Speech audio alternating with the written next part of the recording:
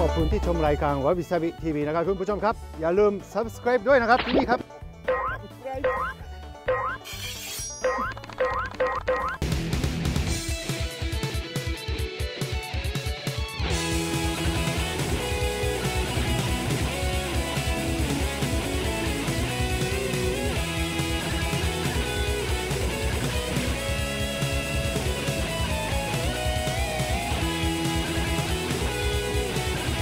โดโมคอนิจิวะสวัสดีตอนสายๆค่ะคุณผู้ชม ขอต้อนรับเข้าสู่รายการสุโกยเจแปนรายการที่จะพาคุณไปตะลุยญี่ปุ่นในแบบที่คุณต้องร้องว่าสุโก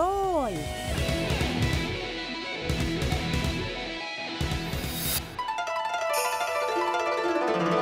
すごいジャパン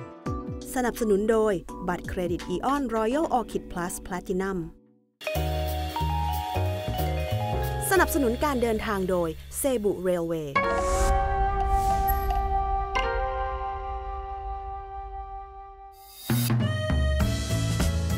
กลับมาแล้วจ้า สุโกยเจแปนสัปดาห์นี้เราก็ยังอยู่กันที่ชิชิบุ จังหวัดไซตามะนั่นเองค่ะ ซึ่งที่นี่นะคะอยู่ไม่ไกลจากโตเกียวเลย แถมยังง่ายต่อการเดินทาง สะดวกสบายและรวดเร็ว ด้วยรถไฟด่วนพิเศษ New Red Arrow ของเซบุเรลเวย์โดยใช้ตั๋วชิชิบุ Two Day Pass เป็นตั๋วไปกลับในทุกๆ สถานีของเส้นทางรถไฟสายเซบุ รวมถึงรถไฟท้องถิ่นของชิชิบุเรลเวย์ระหว่างสถานีมิตซูมิเนกุจิและสถานีโนงามิ ซึ่งสามารถใช้ได้แบบไม่จำกัดจำนวนครั้งใน 2 วัน ในราคาเบาๆ แค่ 2,320 เยนเท่านั้น และแค่เพิ่มเงินอีก 640 เยนก็จะสามารถเดินทางถึงเมืองชิชิบุได้อย่างรวดเร็ว และสะดวกสบายอีกด้วยล่ะค่ะ สวัสดีครับฮิโรครับ ตอนนี้ผมอยู่ที่จังหวัดไซตามะนะครับ เมืองชิจิบุนี่นะครับที่มีชื่อเสียงนะครับซันเจ้าที่นี่นะครับโฮโตซันนะครับ นั่งรถไฟเซบุไลนะครับแป๊บเดียวเลยนะครับหนึ่งชั่วโมงนิดนึงก็จะมาถึงที่นี่แล้วฮะ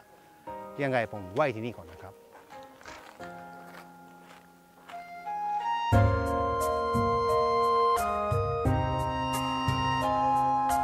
ก่อนจะไปตะลุยเที่ยวกันในวันนี้ค่ะ ฮิโรซังของเราก็แวะมาสักการะขอพรเอาเลิกเอาชัยกันซะก่อนที่โฮโดซังช r ร n e ที่มีอายุอานามมากกว่า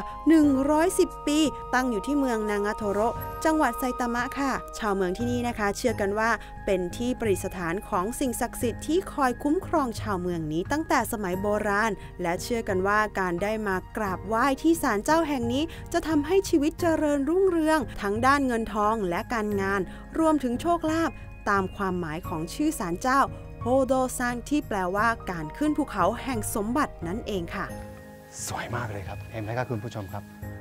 ศาลเจ้าที่นี่นะฮะ เป็นสัญลักษณ์นะครับ ก็คือเป็นสีแบบนี้คือแกะสลักไม้อะมันละเอียดดีมากเลยนะครับเเพราะว่าทุกคนนะครับมาขอพรที่นี่เรื่องเกี่ยวกับงานเงินและก็ทำงานด้วยนะครับ ให้เจริญนะฮะให้เงินเข้ามาเยอะๆอะไรแบบนี้ครับ สังเกตดีๆนะครับ มีสีทอง ชื่อศาลเจ้าเนี่ยครับโฮโตซันนะครับ ถ้าแปลนะฮะตรงๆนะฮะก็คือครึ่งภูเขา ที่มีสมบัติประมาณนี้โหโตซันนแล้วเข้าไปข้างล่างมีพิเศษด้วยครับ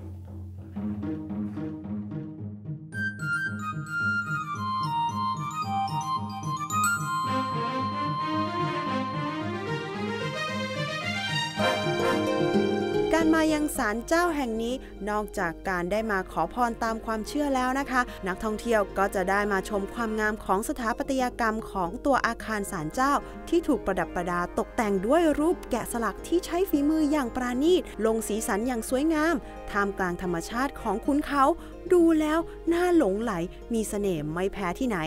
และด้วยเหตุนี้จึงทำให้ศาลเจ้าโฮโดซัง ได้รับรางวัลหนึ่งดาวจากมิชลินกรีนไกด์เจแปนไปยังไงล่ะคะ แล้วก็จุดสำคัญของศาลเจ้าที่นี่นะครับ ก็คือตอนนี้ครับที่สามสามเหลี่ยมนะครับเห็นไหมครับคุณผู้ชมครับตรงตรงด้านข้างตรงนี้นะครับ มีเกศสละด้านขวานะครับ มีเกศสละของออพระครับแล้วก็ด้านซ้ายนะครับ มองกรนะครับ อันนี้เมื่อกี้ผมซื้อเครื่องรางคนที่นี่นะครับ ประมาณนี้ครับพระครับแล้วก็มงคลนะฮะอันนี้หมายความว่าสำหรับคนญี่ปุ่นนี่นะครับพระครับก็คือ เกี่ยวกับโชคหรือว่าเกี่ยวกับการจะเจริญนะฮะมีความหมายแบบนั้นนะครับก็อันนี้ครึ่งฝาใช่ไหมครับหมายความว่าคือเหมือนกับงานทุกอย่างพัฒนาเจริญต่อมีงานเยอะๆงานดีๆ อะไรอย่างเงี้ยครับความหมายก็คือความที่โชคดีเกี่ยวกับการเงินนั่นเองครับเกสระตัวนี้สำคัญมากเลยครับ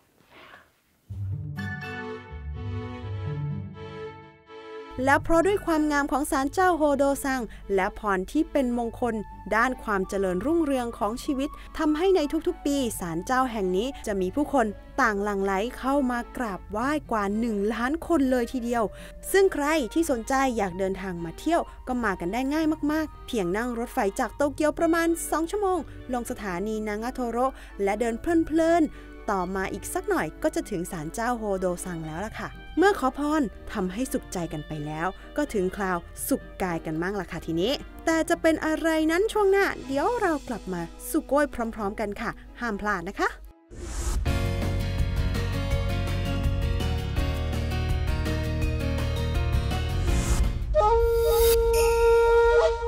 すごいジャパン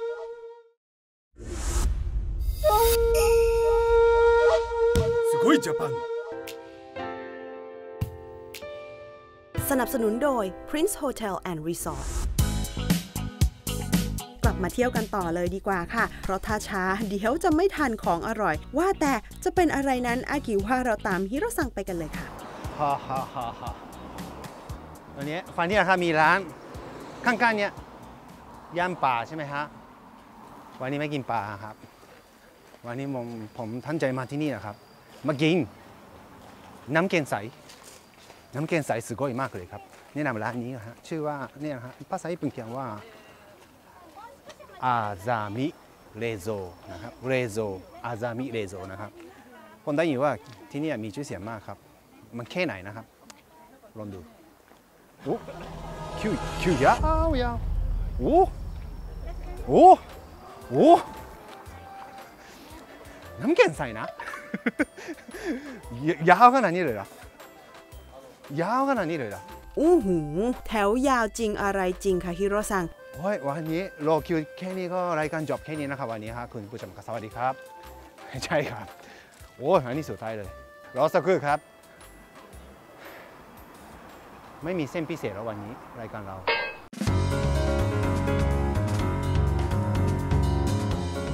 ระหว่างรอคิวอากิคอแนะนำร้านน้ำแข็งใสคิวยาวที่ฮิโรซังพามาในวันนี้กันก่อนดีกว่าค่ะ ร้านนี้มีชื่อว่าอาซามิเรโซ เป็นร้านคากิโกริ หรือร้านน้ำแข็งใสชื่อดังของเมืองชิชิบุ เมืองแห่งน้ำแร่ค่ะ ซึ่งอาซามิเรโซ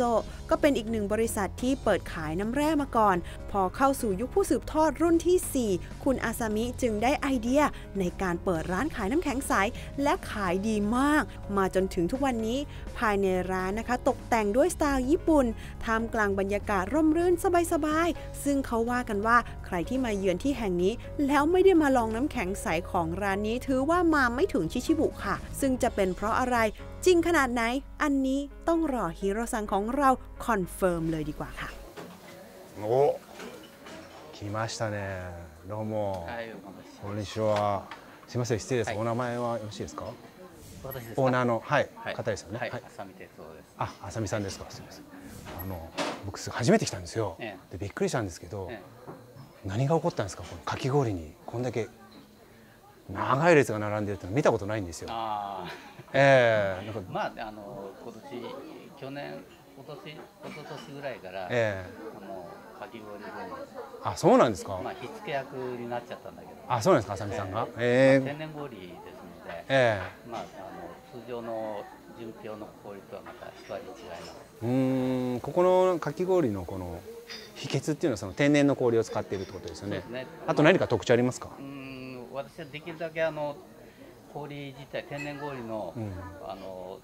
味っていうか、うんそれを壊さないような形でもてなすことを心がけてるので、ええまあちょっと氷の相性といいあの蜜をはい。ちょっと研究していいいい水であればあるほなるほど氷にいい味が出るあそうなんですね。ありがとうございました。じゃあちょっといただきます。はいありがとうございます。失礼しました。すいません。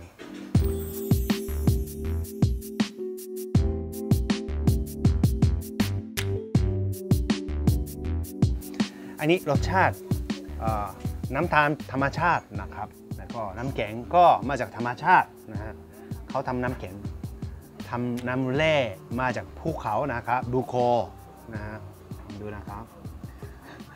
ให้รอผมก่อนอันนี้ลองชิมดู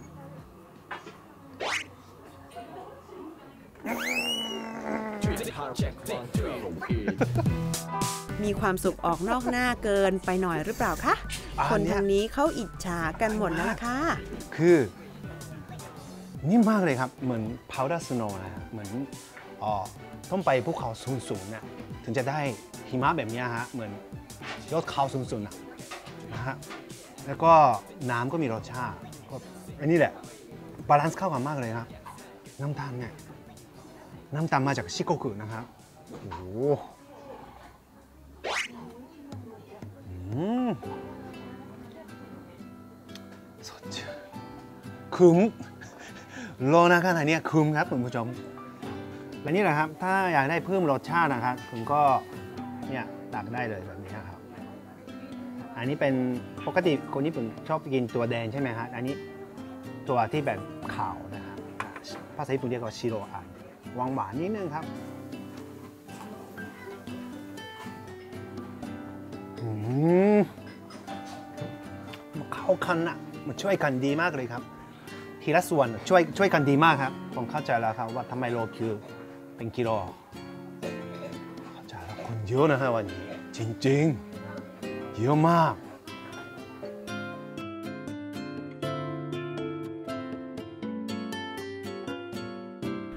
ซามิเรโซ ถ้าใครจะมาก็หาไม่ยากนะคะ เพียงแค่เดินประมาณ 3 นาทีจากสถานีนางาโทโรก็ถึงร้านแล้วล่ะค่ะ และเขาจะเปิดให้บริการตั้งแต่ 10 โมงเช้าจนถึง 5 โมงเย็นทุกวัน แต่ถ้าคิวยาวเวอร์วังจริง ๆ บางทีก็จะงดรับคิวตั้งแต่ 3 โมงเป็นต้นไปค่ะ เอาเป็นว่าถ้ามาชิชิบุ ร้านนี้อากิแนะนำต้องปักหมุดไว้เลยนะคะคุณผู้ชม ช่วงหน้าถ้าใครไม่อยากพลาดเมนูเด็ดที่ทั้งดี ราคาถูกอากิบอกได้คำเดียวเลยว่า อย่าเปลี่ยนช่องเลยนะคะ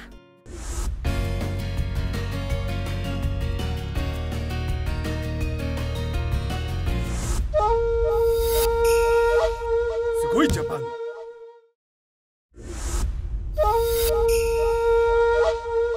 Sugoi Japan. สนับสนุนโดย โกแก่ ถั่วลิสงอบกรอบ ลดกะทิ ประกันภัยการเดินทาง MSIG Travel Easy สมมติว่าคุณผู้ชมครับมาเที่ยวญี่ปุ่นแล้วสนุกมากใช่ไหมครับจนถึงลืมตัว อ๋อ enjoy มากเกินไปแล้วจนถึงเนี่ยลืมพาสปอร์ตหรือว่ามีอุบัติเหตุอะไรเนี่ยครับเกิดขึ้นได้ใช่ไหมครับ ถ้าคุณมี MSIG นะครับ Travel Easy ไว้นะครับ เขาก็จะมีบริการพิเศษนะครับ MSIG Assist นะครับ เขาสามารถ 24 ชั่วโมงทั่วโลกเลยนะครับ เขาก็จะมีที่ปรึกษา แล้วก็เรื่องการแพทย์ หรือว่าเรื่องเกี่ยวกับพาสปอร์ต หายเขาก็จะแบบ support ได้เลยนะครับ มีไว้ก็อุ่นใจนะครับคุณผู้ชมครับ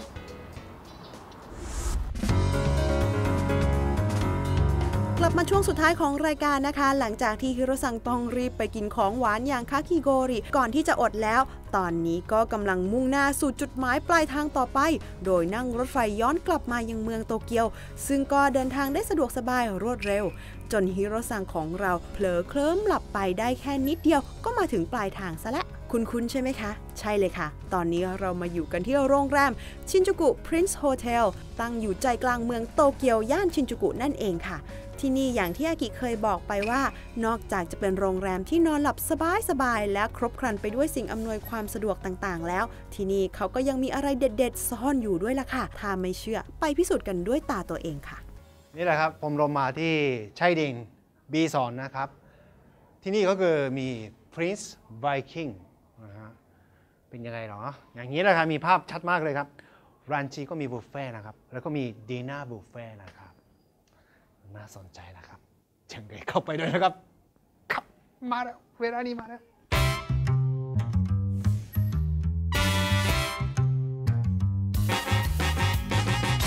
ก็ตามที่เห็นกันเลยนะคะ เมื่อมาอย่างที่โรงแรมชินจูกุพรินซ์โฮเทลแห่งนี้ เขาจะมีอาหารบุฟเฟ่ต์ไว้คอยต้อนรับกระเพาะของเราได้อย่างเต็มอิ่มในราคาเบาๆ แค่ 4,120 เยน หรือประมาณพันกว่าบาท ซึ่งในแต่ละฤดูกาลจะมีเมนูที่แตกต่างกันออกไปตามแต่วัตถุดิบของฤดูนั้นๆ และความหลากหลายของประเภทอาหารก็มีให้เลือกมากมาย ทั้งข้าวหน้าปลาดิบต่างๆ ซูชิ เทมปุระ หรือแม้กระทั่งมี live kitchen ที่เหล่าเชฟจะมาปรุงอาหารโชว์ให้เราเห็นกันแบบสดๆ อย่างเช่น เนื้อย่างหอมๆ และที่สำคัญที่สุดที่ขาดไม่ได้เลยก็คือ ขาปูบุฟเฟ่ต์เมนูเด็ดไฮไลท์ของนักท่องเที่ยวหลายๆ คน ที่นี่เขาก็มีให้จัดเต็มกันได้แบบสุดๆ อีกด้วยล่ะค่ะ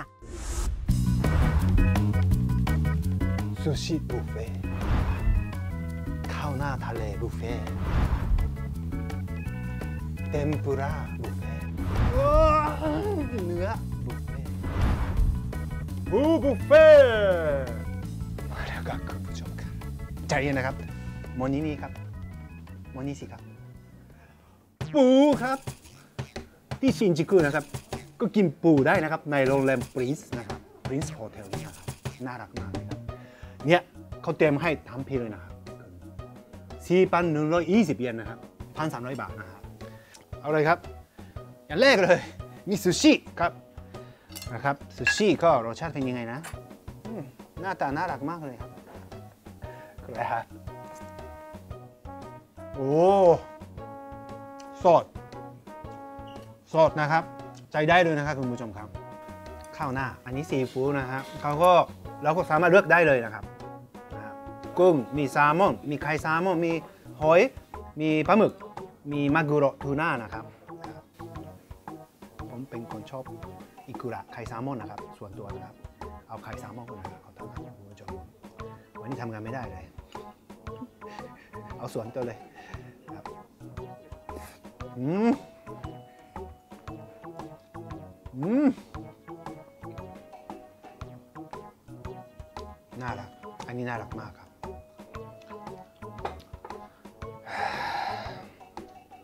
บุฟเฟ่ต์เหนื่อยหนะเนี่ยคุณผู้ชม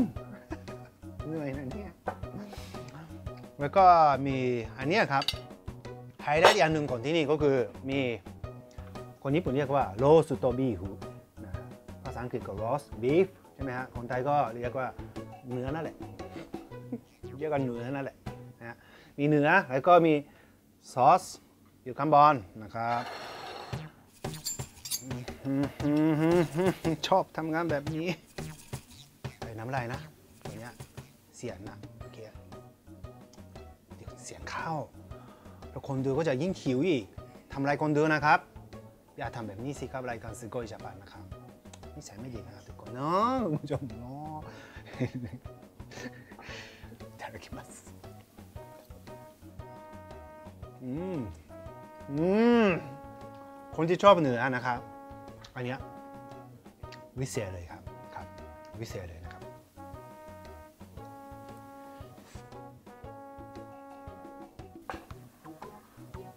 นะครับเทมปุระน่าสนใจนะ แต่กลัวอิ่มเอาไว้ตรงนี้ก่อนนะครับ แล้วก็อันนี้แหละครับ ตากล้องไหวไหมครับ อันนี้แหละครับที่ผมตั้งใจมากินที่นี่ เนี่ยชินจูกุปรินซ์โฮเทลนี่นะครับ มีปูกินได้ทั้งปีเลยนะครับ แต่คนที่จะกินนะครับ ต้องซื้อก่อนแข่งกันก่อนนะครับ ต้องเล่นเกมนะแบบนี้ครับสมมุติว่าแบบนี้ใช่ไหมครับแล้วก็เป่ายิ้งฉุบ ดจางอะกินได้เลย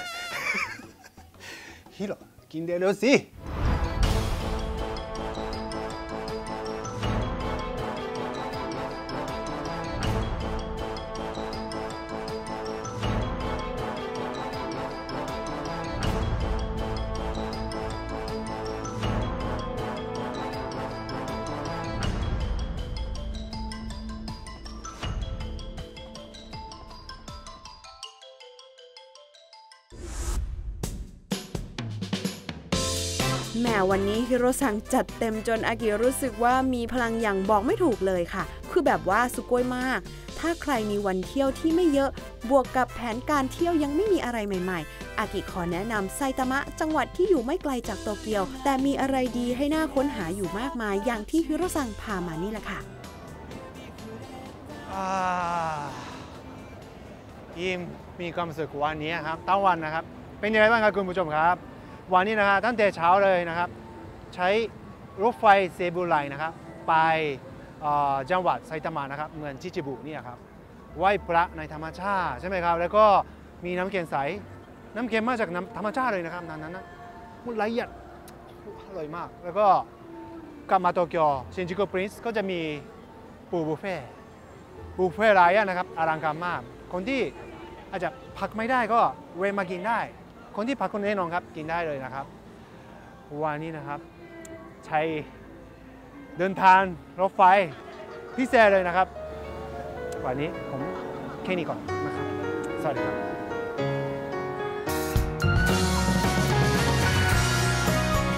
美味しいものに出会う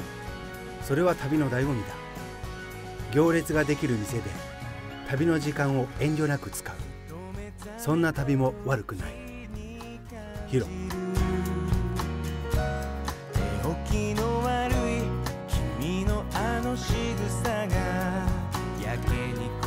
恋สกอยเจแปนสัปดาห์หน้าฮีโรซังของเราจะพาไปรำลึกความหลังครั้นเป็นวัยรุ่นสมัยอยู่ที่โยโกฮาม่าพร้อมแนะนำแหล่งท่องเที่ยวที่คุ้นเคย และของกินเด็ดๆ แต่จะพาไปตะลุยที่ไหน กินอะไรบ้างนั้น สัปดาห์หน้าห้ามพลาดเลยนะคะสำหรับวันนี้อากิขอลาไปก่อน พบกันใหม่สัปดาห์หน้านะคะสวัสดีค่ะมาตาไลชื่อ